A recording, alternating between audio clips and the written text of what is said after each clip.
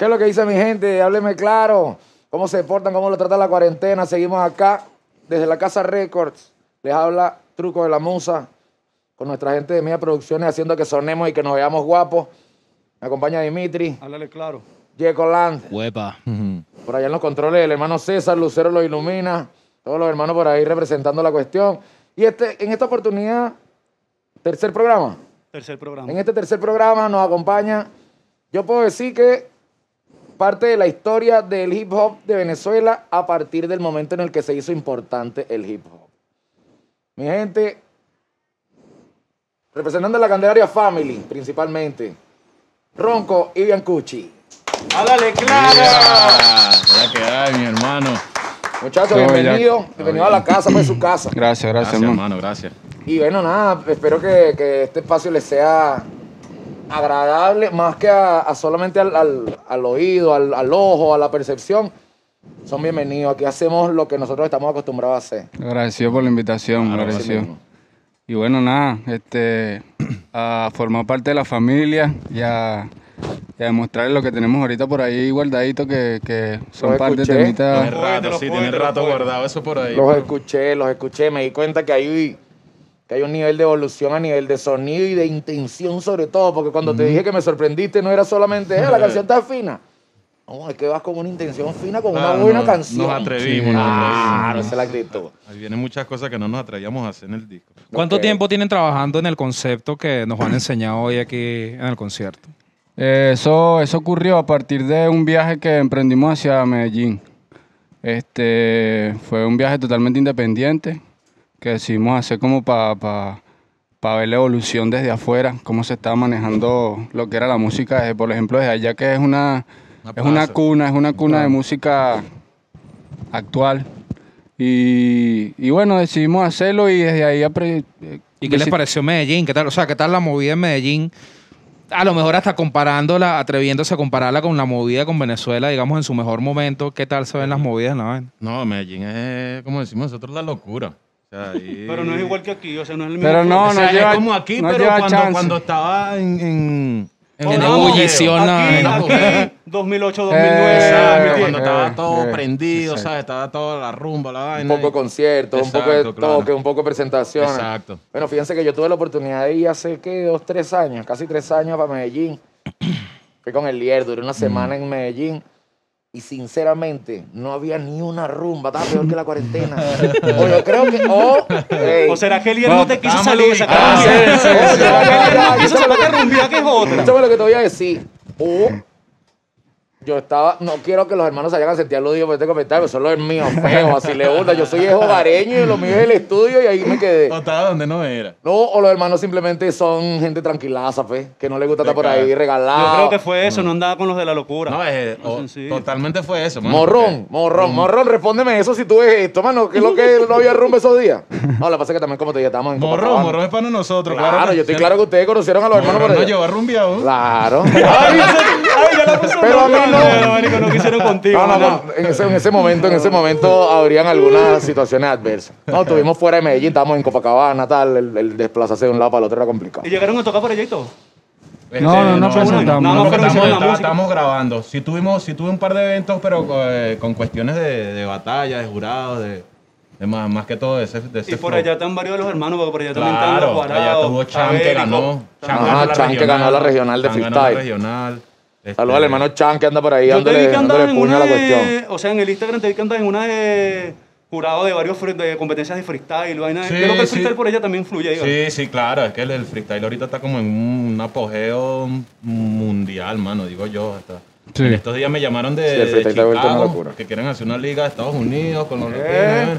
Entonces, como para participar en algo por ahí que se viene a grado y... Ok. Se- si está necesita, un DJ, una cosa, un recoge cable, ingeniero de sonido, rock Lo digo yo, pero yo creo que la vaina es online. Ah, no, pero que lo que es, paguen su pasaje, se van a morir con esa. No, pero bien, bien, bien. Yo creo que el salir más allá de Medellín, porque bueno, es como yo he estado conversando también con los muchachos mucho, más allá del- de la ciudad y de todas las oportunidades que se generen en ella, yo creo que el salir de aquí y ya el, el agarrar una goterita de allá y, el, y en el camino te conseguiste otra, otra cuestión que también te sirvió de experiencia. El salir ya, ya ha generado un alimento increíble Exacto. para el Totalmente artista. educativo, Exacto. Exactamente. ¿Qué, Totalmente qué los llevó a desarrollar el sonido de lo que van a presentar ahorita? Porque es una vaina más urbana, ¿no? Es Sí. más pop. Se, traje, se más trajeron pop dentro de lo que se... poquito para lo, para, para- pues. lo que se vende. No, no tampoco. Es- pues, es O sea, que- pop, quiero decir popular. pues, Exacto, comercial, Tiene algo- su maldad. Es algo que Exacto. siempre, los que, los que siguen nuestro trabajo se darán cuenta que es algo que siempre hicimos con Candelaria. Claro. Claro. Simplemente que Eran otros lo evolucionamos, como dice el hermano, Claro. ¿me entiendes? Adquirimos como... Tampoco nos habíamos atrevido a soltar cosas así, sinceramente. ¿Por qué no se habían atrevido? Es como un tabú, digamos muy que... De, sí, un tabú. Esa es, una buena respuesta. Éramos, Éramos muy raperos. Era- antes Sí, antes es que- tú no te podías parar al lado de, de reggaetoneros, ni, ni, ¿sabes? No podías... No, no, No, se puede, pero se puede que... mano, pero escúchame, yo me acuerdo, ustedes siempre tenían ese flow de, De- para los para las culitos mujeres, y tal. siempre que O sea, hicimos- te voy a pasar, un- me voy a acordar de algo aquí rapidito. Yo me acuerdo una vez fuimos para Chapi y el toque era básico, era Candelaria Family y era la comarca. Claro. Y casi siempre, o sea, casi siempre los shows que si en el Tiuna, que si más o menos los, los sitios donde nos los frecuentamos, pues, cada vez que salían, por ejemplo, todos estos, todos estos grupos de rap, eh, la mayoría eran para la calle. Casi todo el mundo era para la calle, porque de hecho, los únicos que más o menos cantaban para la mujer también era Truco y Profeta. Que era- Profeta que era- el que venía con la voz por de- la claro, cuestión, que era por Profeta le claro. metía la voz armoniosa a la vaina, que era otro flow. Siempre queríamos estafar. Claro, siempre querían la estafa. Pero la- yo, Yo me acuerdo no que la. Candelaria, la locura era. Mi es más, en estos días vi en el Instagram a una chama que se llama Astrid, que era una catirita que estaba riquísima. Ajá. O en verdad está más rica que nunca también. Escúchala, Siempre. Astrid, Astrid. Astrid. Siempre estaba bueno. Oye, la- Dale, Increíble. Y me acordé de eso, de que, marico, se montaba todo el mundo. Se me acuerdo en el Tiuna las mujeres montadas que si en la tarima. Una, háblale claro, corona. El hombre montaba en la tarima, Sí, no, no, mano, una las vez- mujeres, mano, una loquera. Hay una claro. vez Y los Profeta eran los rescatar pantaleta. Eran los Bastri. Eran los Bastri, Mano, eran los Bastri. Eran los Bastri del rap. Claro, claro, claro. fue ese momento porque nosotros nos atrevíamos. Lo que pasa es que había una ola de, de nada más hacer música para la calle, nada más netamente, No, ¿sabes? Entonces, uno, uno siendo parte de ese momento, uno puede decir que en, es- en esa época pocas personas teníamos la libertad, porque es liber- fue libertad. Lo que tuvimos fue libertad. La libertad de decir lo que andábamos haciendo allá en la calle. ¿Qué andábamos haciendo? Rescatando. claro. Eh, Rescatando gallinitas. Y componiendo para rescatar más. Esa era la, esa era la misión. Pero es que, coño, toda la vida cantándole a los tipos, hermano. ¿Quién, quién le canta a los tipos? Claro, no, es que alguien tenía que tirarse el flow. No, yo recuerdo que en una de las... No, y a nivel de marketing, la Jeva llevan a los tipos para el concierto, así que bueno, no va a terminar. 100%. Mira, hoy en día la 100%. música se basa en, En las mujeres. claro, Claro, exactamente, claro, complacer a las mujeres. La música es complacer a las mujeres. No, Qué problemón. loquetera, yo estoy Qué problemón el de la música, ¿no? Mira, en, esos- en tiempos de, rap locura, cuentos de groupies locas que se han encontrado. Mira, mira, No, puedes preguntar esas cosas. Es una locura. Mira, mira, escucha esto que te voy a poner aquí. Esto es el concierto. Y en base al concierto, nosotros hemos vivido cualquier cantidad de experiencias. ¿Cuál recuerdan ustedes? Puede ser la más notoria. Así que digan, "Verga, este concierto pasó esta locura. Que lo que. Verga, William, lánzate ahí una. Fueron tantos, hermanos, ¿qué te podría Mira, yo por lo menos me puedo acordar. ¿Tú te acuerdas cuando fuimos para Morón? Que nos fuimos con por Dios. Que tuvimos que correr la chamita del hotel. Por Dios. Por ejemplo.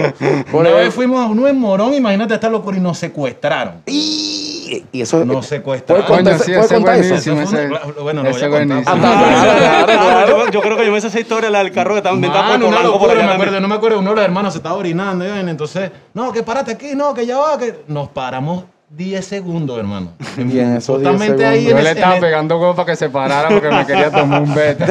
Eh, también, Párate, párate. Y por allá otro pana también que metió orinando, hermano, pero faltan 10 minutos para Ay. la bomba. Párate, párate. Bueno, nos paramos. Marico, en lo que me asomo por, por el. Retrovisor. Veo que viene un FIA uno con las luces apagadas, se nos agacha ahí. Y el pana que está orinando, que está por allá así, voltea y me, y me dice: Marico, hay un beta. Y yo, ¿qué pasó, mano? Cuando volteo, venían cuatro bichos ¿no? máscara de payaso así. ¿qué? Máscara de payasito. payaso Máscara y de todo. payaso. Verga, lo pusieron Pero. Fue en carnaval, fue en carnaval la vaina. Bueno, Ay, Venga, pero sí, qué miedo, santo máscara de payaso la ponen loco. joda. fue una locura. Máscara de payaso la pueden poner en video. Sí, Sí. total, Agarra eso. total. Ahí estaba Poe, Poe estaba ahí, me acuerdo. que- Poe, Ah, papi. yo por eso que me sé la historia. El- papi, sí, deberías agarrar eso para un videoclip. Pues volvió a nacer ese día. Ey, sí. ey, ey. Hemos conversado de eso. Imagínate lo que hemos pasado. pues. Eso fue una mala experiencia, buena, bueno. Cualquier cantidad. Pero bueno, es digna Como de, están las malas resaltar. también, Digna de resaltar porque también es un aprendizaje para el que está viendo esto. No te pares en la autopista si no es exclusivamente No, necesario. Nunca, nunca. Morón menos. No hay ninguno, tú sabes que aquí es la velocidad. Si no son los sacudos, imagínate tú. Bueno, pero no, está bien, está bien. Bueno, nada, yo creo que nosotros, entre todas esas oportunidades que hemos estado por ahí presentándonos, hemos, hemos conocido, más que personas, situaciones, espacios, ideas, trabajo que está haciendo personas. Por lo menos ahorita en Medellín, esto que, este, este rato que pasaron allá, ¿vieron algún proyecto que les sorprendiera? Sí, hay mucho talento, hay burde venezolanos allá con mucho talento He también. visto, claro, claro. Bueno, lo- no voy a decir, bueno, los venez- los venezolanos siempre la están matando. Sí, sí, obviamente, pero... Pero claro, me imagino que los que están en Medellín están puestos para la cuestión. Exacto, Allá no pues. hay tiempo para soñar, hay que. Igual es una Allá la- lucha porque la- me imagino que allá hay música está muy, muy, muy 3.500 también. Claro. Allá hay corriendo. 3.500, o sea, yo digo que es esto, pues. Es como que aquí todo el mundo lo está intentando y estamos en casa. Exacto. Allá no es la casa, así como nosotros vamos a intentarlo allá, allá tienen ellos los de su casa, que también están reventándose la madre para también hacer su fuerza. Que tienen que meterle, sede, que tienen que meterle candela, que tienen que Claro. meterle candela. Claro, porque es lo que estamos diciendo y nosotros los venezolanos no es por nada, mano, pero nosotros tenemos un flow increíble. Sí, sí, Y sí. No, y ellos, mismos, ellos mismos lo reconocen, Claro. porque ellos mismos nos los han dicho y, y, No, y claro. reconocen que, que es una que también por parte creo que de la jerga de nosotros estamos pri- privilegiados en esa parte, ¿me entiendes? Tenemos Porque- una jerga rica como sí, para rapear. Sí, sí, sí. Y el acento, todo, ¿sabes? Entendí. No, y, ey, y- y fíjate que son- hablamos español los dos. Exacto. Los dos hablamos el mismo idioma, solo que idiosin- a la- nivel de la idiosincrasia y de la jerga que cada uno domina, Exacto. nosotros podemos rimar feo con la creo, ya. Claro. Ah, Los finos de ellos no saben que colombianas, crema. las colombianas que se hablan fino, verga, mano. No, me eso sí te puedo decir que allá son excelentes personas, hermano. Sí, sí, bueno, el tiempo que pasé, la semana, muy esa semana que pasé en Medellín, hermano, hasta los camioneteros me decían, eres de Venezuela, sí. bienvenido. Sí, no sí, seas sí. como los malos, solo me decían. Exacto. No seas como los que son malos Como que los los hay. los claro. Que nunca faltan. No seas como el malo, que los hay, No pero no seas como él. No choques. Que también hay muchísimos venezolanos allá chambeando duro. Chándole sí, pichón. Y no, en cualquiera, bueno, en ese momento que fui para allá, mi hermana estaba en, en, en Medellín, Raila, ahora está en Perú, pero bueno, anda por ahí de, glo de Globetrotter.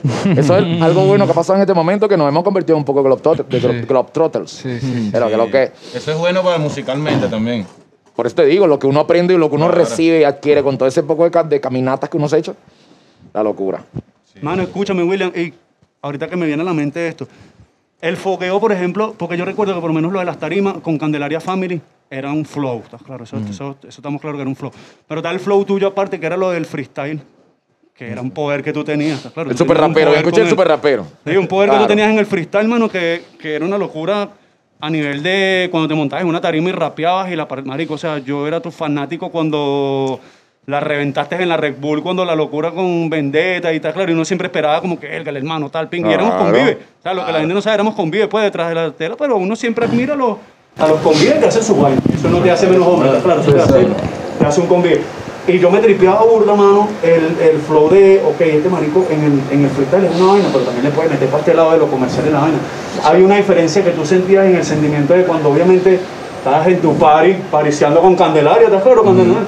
A cuando estás en el freestyle, que el público es diferente, ¿estás claro? Sí, en el son- concierto son- el público es totalmente diferente porque el freestyle son otros otro flow. Son dos energías totalmente di- distintas porque a la gente siempre le, le llama la atención este, lo, que está, lo que está pasando en vivo en el momento, que le hables de lo que está viendo o, o de, De lo que está viviendo en ese momento. velocidad mental. Claro, la, es gente siempre ve eso como que un plus así como que "Ver, es impresionante. Pues.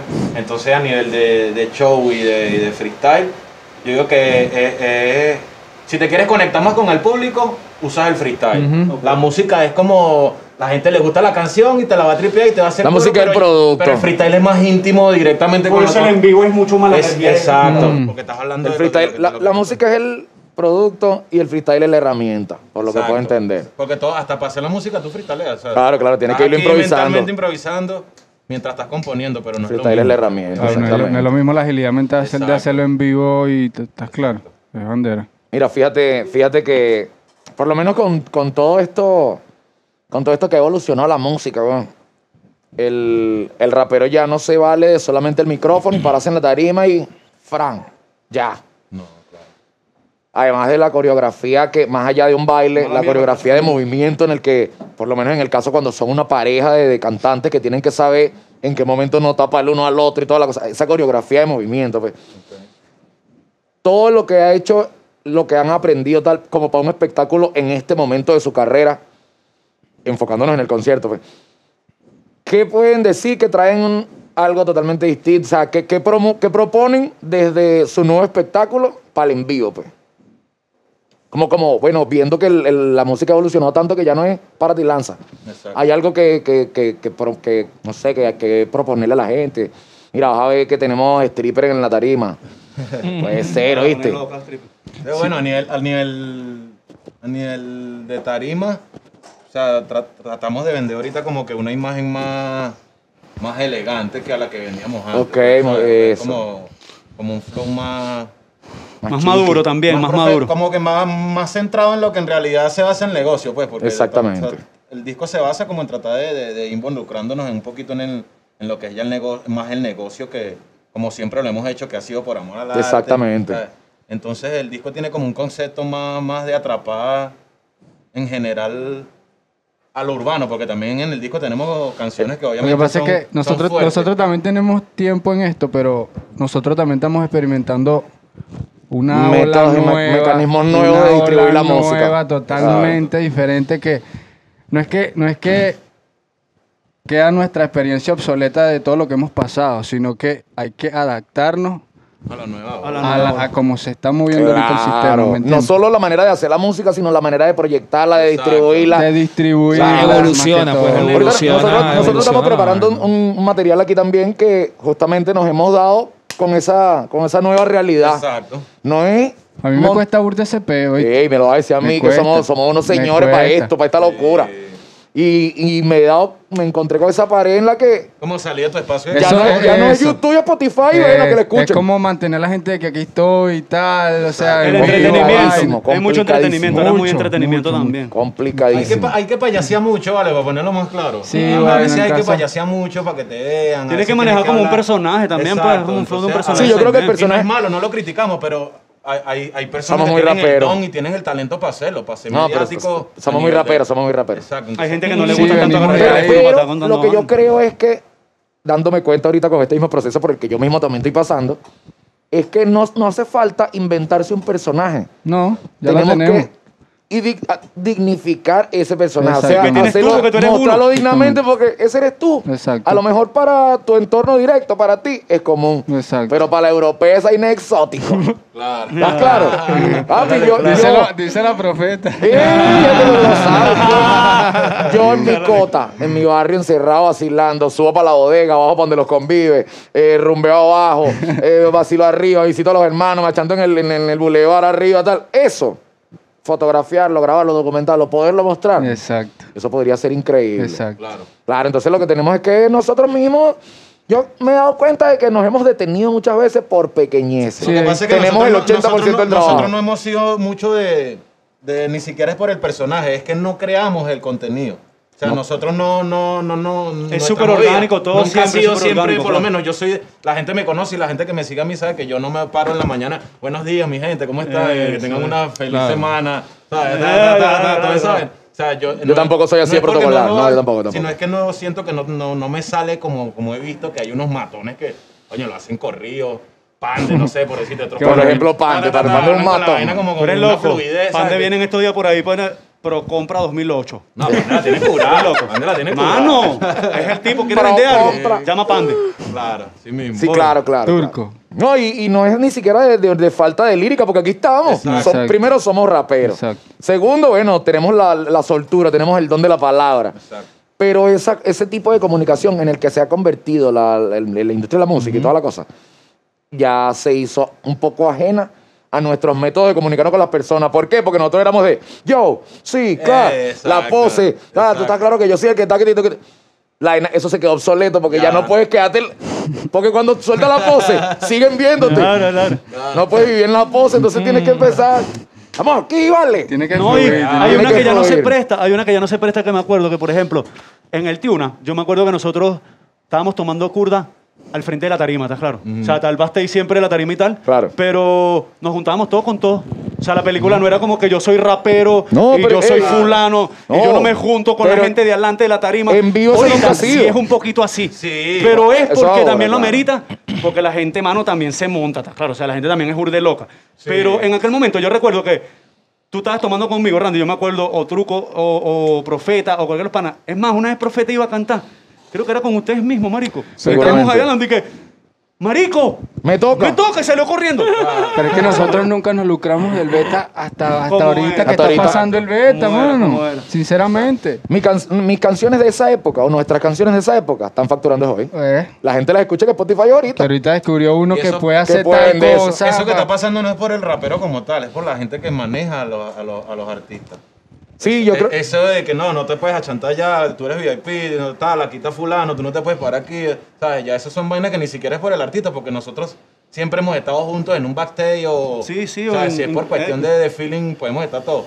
Pero ya cuando llega el equipo de trabajo, te llega un manager, te llega un fulano, te llega un Hasta con, los, inversionista. hasta con los chamaquitos de ahora. parámetros, ¿sabes? No te vistas así, no te afeites así, no hables con este, no te la pases con este, no tomas, no subas esa foto. Ese tipo de vainas también te van como aislando de, de lo que vivías antes. Pues. Sí, y es como Es todo. como parte de la evolución Yo también. te iba a decir, es como todo. En el camino uno va subiendo escalones y hay cosas que se van quedando. Exacto. El- lo que no camine o corra a tu velocidad se va a quedar por ley. Pero esa movie nosotros no nos la supimos no, vivir no supimos 100. dejar cosas. O, no, o por lo menos No no, supimos aprovecharla. soltar lastre. No aprovecharla porque vivirla sí. O sea, de que la vivimos. Sí, Claro, claro, sí, sí. pero de repente no se le No sacó la el jugo. aprovechamos. Ahora No no, se le sacó el jugo como de repente se En hubiera pocas palabras, no sabemos ser unos come mierda. Exactamente. Así mismo. Tal cual. Y, y eso es súper importante en la industria. Hay no que ser come mierda Mucha en la medida de lo que- posible. Mucha gente dice, no, que este bicho es un... No, pero ese es el papel que tiene que adoptar loco, porque capaz tú adoptando ese papel, la gente te ve más inalcanzable y eso te da más auge. Exacto. a Y hace cuando que te compren más la entrada de la cuestión. Eso es lo que Claro, pasa. Claro. sí, no, Entonces yo- mucha yo gente lo toma como que... Ah, te hecho un mamagüeo. Pero hay otra gente que sabe que no. bicho No, pero después que te dice mamá, te van a amar, mano. Te ama. Ese, te ese, ama. ese te ama más. Te dice Sí, pero te sí, ama. sí. Eso es así. Te aman más todavía. Sí, no, es que el- la- la- lo inalcanzable que El se pone ejemplo artista. es en Instagram, por lo menos. Yo veo que los artistas más duros, los más sonados, no responden nunca a los comentarios. ¿Sabes? Es verdad. Cito, por un ejemplo. Es más, Un ejemplo responden los- haters, Yo me pero la no los paso. buenos comentarios. Saludos, verga, bendiciones, hermano. No, que te vi ayer, verga, mi pana, sí, no me por ahí en estos días. Todo el mundo le responde eso. Sí, yo también. Y entonces me han ya en estos días me dijeron, mano, ya no puedes hacer eso. Yo, ¿Por qué, marico? No, sí que soy, no, Que soy un come mierda. ¿qué tal, pam, pam? Responderle a la gente que tal, ¿sabes? A los que sean unos tal. Y yo, verga, marico. Mano, ¿qué es lo que, que la gente te así. escribe? ¿Qué es lo que, que la gente te escribe? Te escribe alguien que de repente es un fanático tuyo y te... Hermano, eres el mejor, marico, la parte... Una locura. No responden. Mm. Aparece un loco. Mano, eres tremendo mamagüevo, tremendo... che. Disculpa, no sé qué vaina, mamagüevo, eres tú, vaina, pa. Entonces tú dices, marico, le responde a los haters y a los que de verdad te tiran una buena vibra no le responden. Es Eso una es loquera. parte del ego. Sí, es parte verdad, del ego. Eso es parte Porque del no ego. puedes aceptar que haya alguien que no le haya gustado lo que hiciste. Exacto. Porque Sí, claro. si hay alguien que no le gustó y no le gustó y ya. Tú eres marico, el mundo Yo mismo me he puesto en ese plan. Ah, mamá, mamá, güey, ¿dónde A lo, mejor este es, a lo mejor esa actitud nos ha faltado hasta con nosotros mismos. Entre nosotros mismos. Sí. No También lo- el, el público es, es muy culpable de, de, de- de no de, nue- de nuestro... no, de- no de la falla. No de la falla, sino que no, nos criticaron mucho.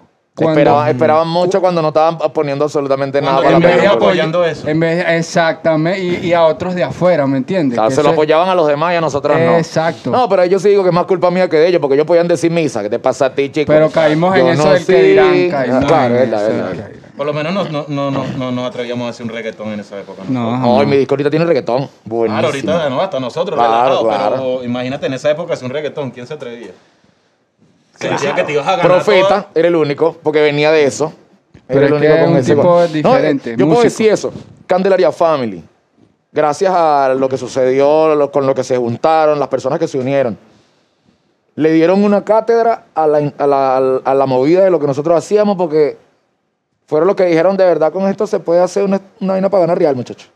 No, que yo soy de rapero y claro que siendo de rapero podemos inventarnos un negocio y ganar real. Pero con lo que nosotros conocemos, que es la pegadera de Jensi, la mamadera de gallo, el vacilón, el llegate para acá, mami, que sabe que lo que es tal, eso lo hicieron con el rap. O sea, yo estaba feo con una primera. Mi primera canción fue romántica, no, yo, mm, ¿cómo es que no puedo? Un palazo. Claro, romántica, lo primero que grabé fue romántico. ¿Por qué? Porque yo sé que en mi barrio, cuando yo entré. se nos adelantaron. Claro, que, Profeta me lo dijo. Él venía de reggaetón y yo me dijo, papi, vamos a hacer una música tal. Yo puse esa pista.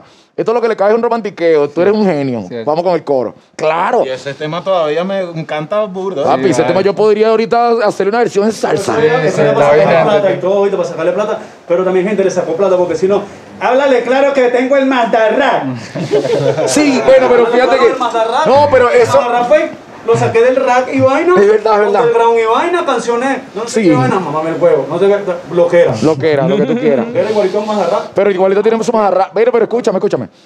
También hay gente que, gracias a eso, a lo que nos deja esta vaina, el concierto, la presentación, la vaina, tienen que verse obligados a pasar por ronchas por las que nosotros evitamos pasar. Hay gente que lo estafó, que lo estafaron. Al Mazdarra lo estafaron. Cualquier cantidad, el que echa sus cuentos. Echa sus cuentos. Pero nosotros nos cohibimos de la estafa. Por lo menos nosotros podemos tener el alma tranquila de que nadie es millonario por nosotros. A lo mejor un hermano se compró una cosita, a lo mejor otro mantuvo la casa tanto tiempo, pero nadie se hizo millonario con nosotros. Nada que me haga más feliz que eso. ¿Qué me haría triste? Que yo tenga esta y fulanito de por allá, winner, winner, winner. Nah. Cónchale, vale. No, mano, lo único más cerca que tengo yo que te gana es el profeta que se fue para allí y coronó con una sueca. Porque sí. Oh, profeta, te amo, vale. La pegó el techo. Oh, bueno, pero es así. No, mano, yo digo que el- la manera que nosotros hemos chambeado. ¿Qué? Tiene el Fuerte, creo que fue una de nuestras primeras. Eso fue el trampolín. El trampolín. claro. Tiene el Fuerte. Medio tráiler con la parte de adelante picada, nos montábamos por la parte de atrás y en ese mínimo espacio que sería de 3 por 5, 5 por 3, 5 por, Bueno, por depende, 6. depende, depende. A veces. Que para mí eso, eso era una tarimota. Papi, para mí tiempo. eso era Woodstock. Para mí eso era millones. Claro, papi. Escúchame, la primera vez que yo me monté en una tarima del Las vidas las vendían en un autobús Había partido 70 tarimas en el Tuna. Y yo recuerdo que la primera vez que yo me monté en una tarima del Tuna fue en el disco de Todo Suena Bien de Chrysler. Mi hermano Chrysler que le mando un saludo. El hermano. El hermano. Y él fue el que me convió, yo era un nuevo, estaba comenzando a rapear, ya ustedes eran Candelaria Family, Truco y Profeta, ya se habían partido a más de una por ahí, una loquera. Una loquera. Está claro. Y- No digas así, que van a pensar que somos mujeriegos, hermano. Van a pensar. No, pero escúchame, la vuelta era que, o sea, tocar ahí, mano, para los que estábamos en la cultura, los que queríamos rapear y los que teníamos el hambre de... Todos queríamos. Marico, esa era la plataforma. Exacto. Querías tocar en el Tune al fuerte, Por porque tocar en el ley. Tune al fuerte te daba un caché dentro de los raperos. Claro. Tú eras el telonero así tocaras a las 3 de la tarde, ¿estás claro? Exacto. Así No importa, estás tocando en la tarima En del el Tune al Tuna, fuerte. claro. Ese era, ese era como nuestro sábado sensacional. Exacto. Y era, y era constante, era siempre. Papi, era el sábado sensacional, tal sensacional cual. de la movida. Tal cual. Se hicieron premios, se hicieron de todo en esa vaina. Oye, sí, vale. Entonces, ¿ustedes, ustedes se ganaron algún premio? ¿Ganaron los premios? No, pero es que los premios los estafadores. ya va A nosotros la moda, a mí tampoco me pone. No. No, yo siempre mamaba gallo que en ese momento y que mejor canción. Tú querías romper el premio, Mejor canción que si gano te comercial lo rompo. era no sé qué. Yo decía que si la canción más coreana era Limañas Crew fuera aquí. Era una vaina hardcore así que no quería ganar nada afuera, ¿vale? bueno, pero bueno, esa es la historia. La historia de nuestras tarimas, ¿vale? Que disfruten. Me acuerdo que una vez me bajaron de, un- de una tarima del tío, una. Estaba cantando. Alguien estaba cantando una canción de, de sustancia. Y yo me monté con la cuestión en la tarima y había como una cuestión del CNE que estaban recogiendo cuestiones, inscribiendo gente y yo con aquello en tarima. Tomándote Es que antes eso era un. eh, Antes eso era un Papi, que estábamos en, el estábamos en Este- el underground. Yo era el aproveché mi momento y no, lo hice mal, no era el momento. Pero bueno, todo bien, todo bien. No pasó nada, no el- pasó de El ahí. difunto Ardilla que en paz descanse. el Le hermano, encantaba montarse en la el tarima con un king. Era el papá Inés. Con un king. Tenía su show. Ah, Recuerdo se también prestaba, a, se prestaba, recuerdo o sea, también en los premios Onder a Macioli lanzarse desde la tarima y que este es el verdadero premio Onder y sacó un poco dicho armado. Ah, sí, yo me acuerdo, claro ¿Te que sí, claro que sí. El claro que sí. verdadero premio Onder. Sí, sí, sí, el Mató la loco, liga, sí. mató la liga. Vamos, qué loco, qué loco, qué loco. Mira, nada, yo creo que en- en las tarimas se han vuelto más que el disfrute que nosotros fuimos todo el tiempo, lo que el vacilón que armamos, ese momento de compartir se ha convertido en un negocio increíble. Un negocio increíble que amerita más que, más que el talento. No, eso es un show que hay que Claro, hacer. amerita show. mucho más que el talento, más que saberlo hacer, amerita cierta producción, amerita Mucha gente detrás de todo eso. Ah, lo importante de un espectáculo musical en vivo no es el cantante. Ya se ha convertido en todo lo que hace que el cantante se vea como se tiene que ver. Exacto. Bueno, esto es la casa.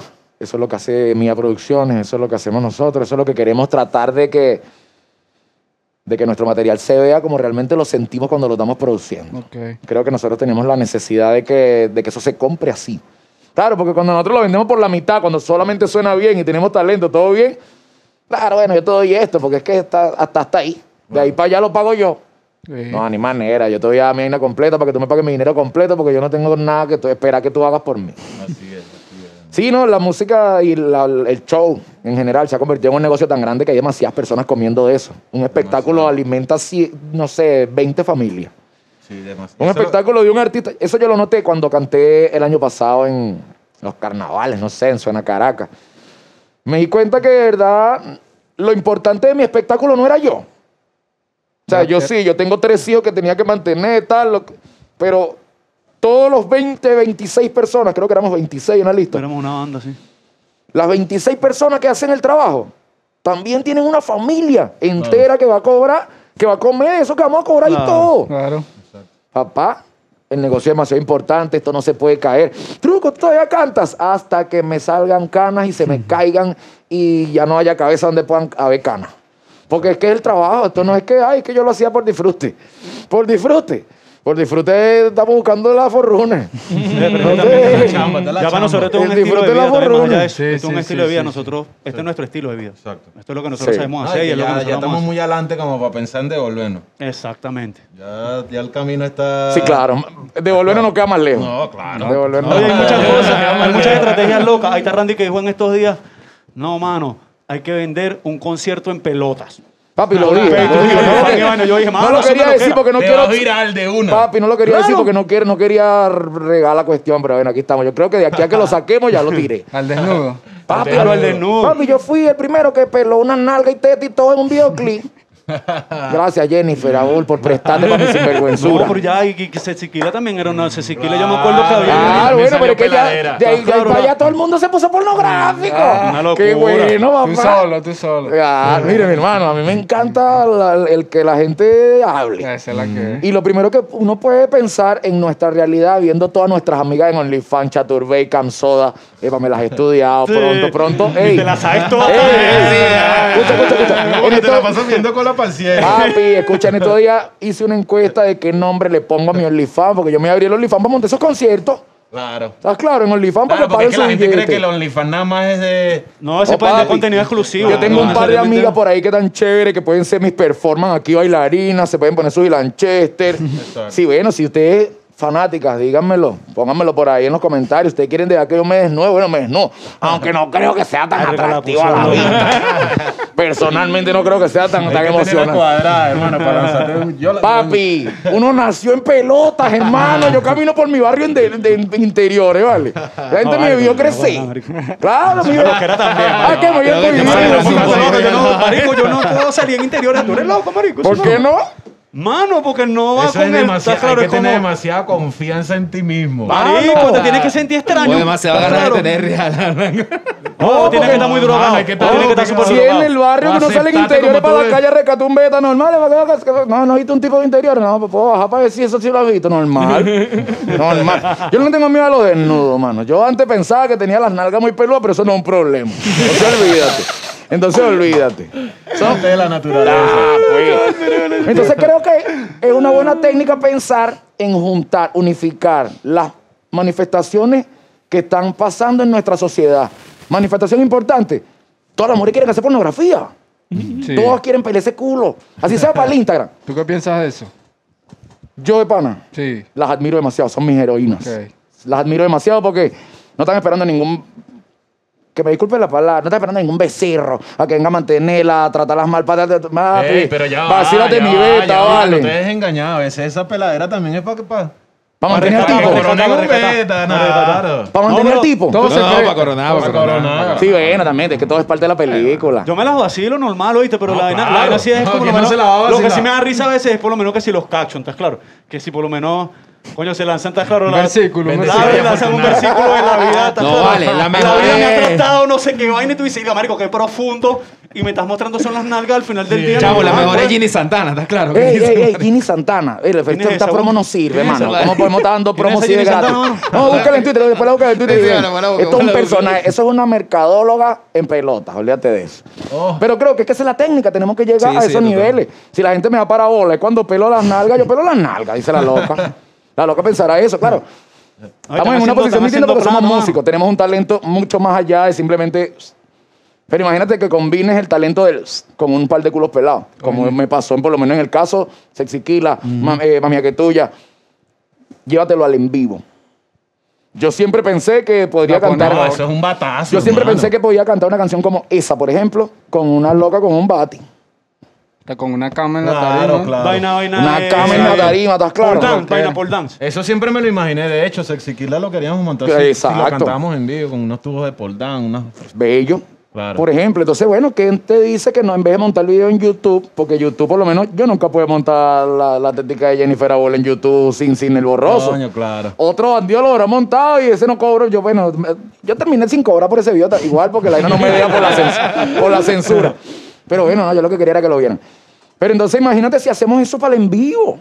Nos llevamos esas jevas que siempre hay una que quiere. Siempre hay una que quiere que vean. Siempre hay una promo que hay que ganarse. Siempre hay un nombre que marcar. Cierto. Jennifer, Jennifer a mí no me pidió nada en ese momento, lo que necesitábamos para la vaina. Saludos, le, Jennifer. pa- le nació de su corazón, por eso te amo y te amaré por siempre. Ah. Le salió del corazón hacerme el coro porque me vio que estaba en la búsqueda de alguien que representara esa canción. En búsqueda de la felicidad. Ah, no, y la conseguimos con Jennifer. ¿Quién no consigue la, la felicidad, vieja? Así sea viéndola de lejito.